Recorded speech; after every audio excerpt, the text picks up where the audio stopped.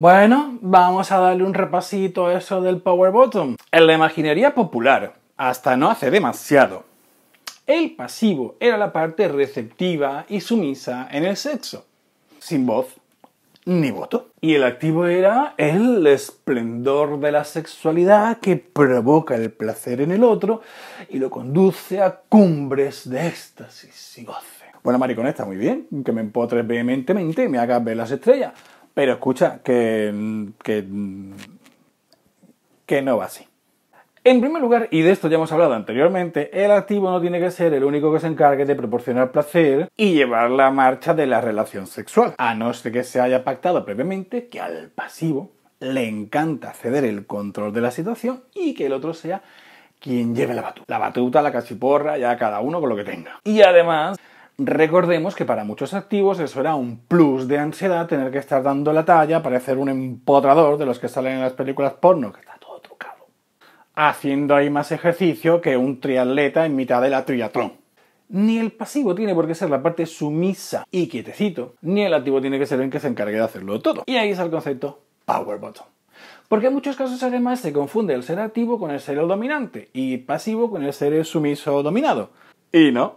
Porque también existen pasivos que son muy dominantes y que se sientan encima tuya y te cabalgan de una forma bestial mientras te dan bofetadas en la cara y te dicen, cabrón, aguanta, como te corras, te corto las pelotas.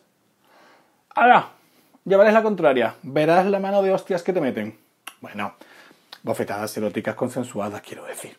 Efectivamente, esa visión antigua de los roles anales, de los que ya hemos hablado en muchas ocasiones, que ni son tan fijos, ni son tan identitarios, y que desde luego no responden al estereotipo que nos hemos hecho de ellos, pues dan paso que muchas personas se sorprendan y a veces pues incluso vayan a las relaciones sexuales sobrepasado por las expectativas. El caso de los problemas de impotencia, en el que va a hacer de activo en esa ocasión porque se supone que tiene que hacer unas cosas que, bueno, poco menos que un malabarista para dejar satisfecho al otro que está allí pues dejándose hacer.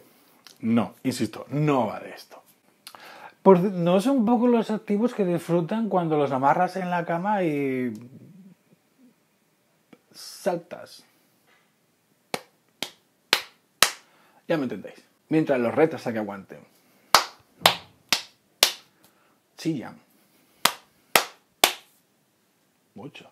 Un power bottom no es un señor que se pone en la sauna y se deja follar por 15. Vale, sí, para dejarse follar por 15 hace falta ser un poco power bottom, sobre todo por tener el ojal más entrenado que la puerta del metro. Claro, porque de lo contrario, a la tercera polla que te meten, pues tú ya estás escocido vivo y te duele todo porque aquello está en carne viva. Digamos que necesitas un cierto entrenamiento para abrir las puertas del templo del placer.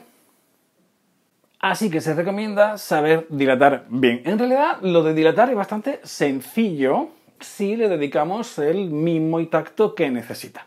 Esto de dilatar ya lo he explicado anteriormente, ya sabes que mis vídeos pues van son como un poco como un Lego, ¿vale? Entonces yo un día trato un tema que ya traté anteriormente y lo complemento, entonces el vídeo anterior y al final todo como muy chulo y tenéis un montón de horas para estar entretenidos conmigo.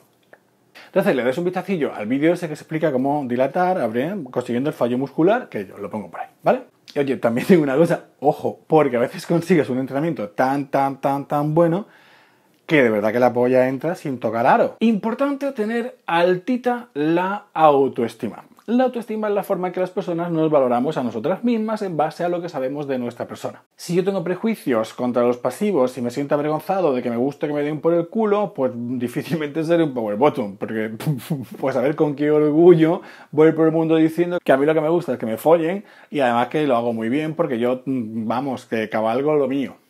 Si tienes algún tipo de prejuicio, cosa que es comprensible porque vivimos una cultura machista que siempre ha menospreciado a la parte receptiva, pues tendrás que darle otro vistacito. Pero muy importante que te sientas orgulloso de ser quien eres y que tengas claro que tu principal fuente de placer está en el interior de tu cuerpo, la próstata. Y que te encanta que te den con una polla.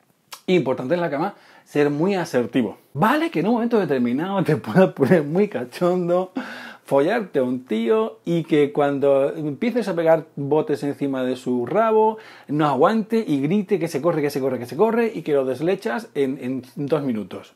Es como skills, honey, skills. Y entiendo que estás allí porque te lo quieres pasar bien, no porque seas su asistente sexual. Por tanto, sea asertivo en la cama. Y oye, explica el placer que quieres y cómo te gusta que tengan las cosas, y juega y propon. Para eso es importante la comunicación, decir qué es lo que quieres y estar muy atento a las señales del otro. Oye, si ves que se corre, que se corre, que se corre porque le das mucha caña, paras y que él te trabaje a ti un poquito, con los dedos, con un dildo, a lo mejor cambiando de postura, ya eso facilita que no tenga tanto apremio para llegar al orgasmo. Pero es muy importante que sepas decir, oye, que me gusta follar, que soy bueno con el culo, mm, también controlate un poquito porque no quiero que me dejes a medias cuatro veces. Importante que tomes la iniciativa, tanto si lo estás cabalgando como si él te está follando a cuatro y tú te estás moviendo de una forma muy vehemente o le aprietas muy fuerte y él siente un masaje mucho más intenso, pues hacer ese, tener ese morbo de preguntarle, háblale morbosamente, ¿no? No puedo hacerlo porque ya me desmonetizan por completo los vídeos y la vamos a liar, ¿vale?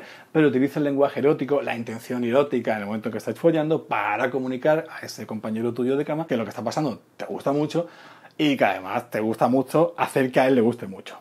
Y luego, si tienes alguna fantasía relacionada con la ropa interior, desde tangas eh, a jockstraps, si tienes cualquier tipo de fantasía con los roles, exprésalo, pero además claramente y planteale al otro la diversión de poder participar en ese juego. Y si a él le molan, pues adelante.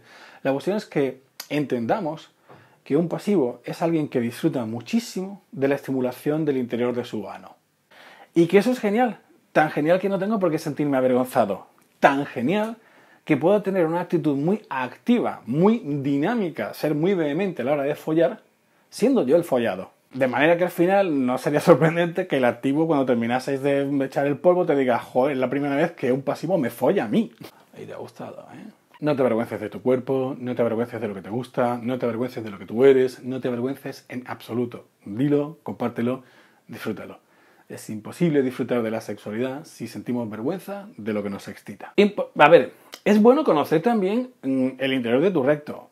Cuando hablamos de las posturas decíamos que lo que estamos buscando con todos los movimientos que hacemos y cómo se coloca todo aquello era conseguir la estimulación de la próstata fuera como fuera el tamaño del pene del otro. Si a ti te estimula la próstata mejor en la postura del trepador que no en el pollo asado, pues coméntalo con el chico con el que estás para que, bueno, a lo mejor en un principio te folla en una postura que no te estimule tanto, pero cuando quieras llegar al orgasmo, pues que te ponga la del trepador, te lo meta por encima en diagonal y te corras vivo. Tú piensas una cosa, a muchos hombres les cuesta encontrar un clítoris que, se ve, que está allí, ¿de acuerdo? Imagínate tú encontrar una próstata que está dentro del culo. O sea, o se lo pones fácil y tú le dices dónde está, o va a ser complicado a ver. Así que no te cortes un pelo y ayúdalo a conocer tu cuerpo, dónde tiene que estimularte, cómo tiene que hacer las cosas y sobre todo que tenga claro que allí estáis los dos para pasarlo bien. Prejuicios fuera, un buen conocimiento de tu cuerpo y un buen conocimiento de cuáles son las mejores posturas y tal. te llama otra vez. Mientras te llama, pues tú aprovechas para seguir informándote en este canal, entonces te suscribes y me dejas la campanita así puesta para que te lleguen las notificaciones y si me sigues en Instagram o en Twitter, pues mucho mejor. Lo que no puedes olvidar bajo ningún concepto es darle un like porque es un vídeo que ha sido muy informativo para ti. Maricones, un beso muy grande. Ocupéis el rol que ocupéis y hagáis lo que hagáis, que os quiero un montón. Nos vemos en la próxima.